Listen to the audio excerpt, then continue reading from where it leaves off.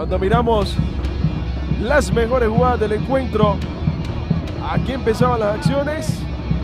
Todo era para el conjunto del Managua Fútbol Club.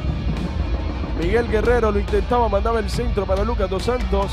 Bien por parte de Abner Acuña. Aquí el trazo impecable de Lucas Dos Santos para Miguel Guerrero que con caño incluido en dos ocasiones termina definiendo para poner la victoria parcial a favor de los Leones.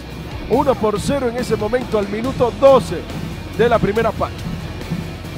Ahí está una vez la reiteración, caño incluido y después la definición al primer poste para el 1 por 0 en ese momento ganaba el conjunto del Managua Fútbol Club.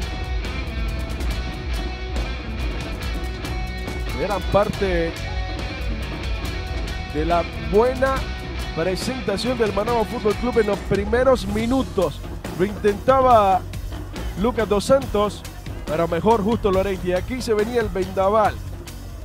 El cabezazo, el recentro de Abner Acuña. Y Luis Fernando Coronel que terminaba estorbando a Campers Pérez para que se pusiera la paridad en el marcador uno por uno en ese momento. Aquí se desentendía de la jugada Rigoberto Fuentes, mejor el arquero haciendo la lectura de la jugada.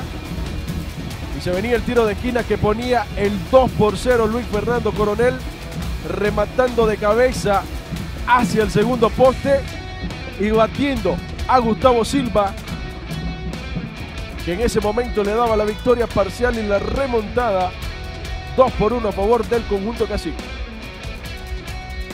Se iba adelante en los cartones el conjunto blanco y negro. Intentaba por parte de Lucas Dos Santos el Managua Fútbol Club, sin embargo salía muy defectuoso. Calderón que lo intentaba. Luego el disparo con mucha potencia de Luis Fernando Coronel. Llegábamos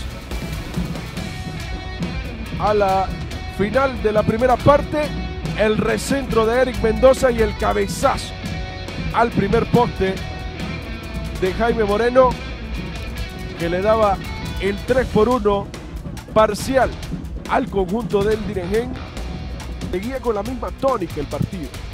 Lo intentaba por parte del centro de Trinidad y aquí el cuarto gol del conjunto de Iriambí. Asistencia de Jaime Moreno. Amner Acuña que salía muy bien ganándole la espalda a los defensores y terminaba batiendo a Erly Méndez. Parte de las variantes del Managua Fútbol Club que termina haciendo el gol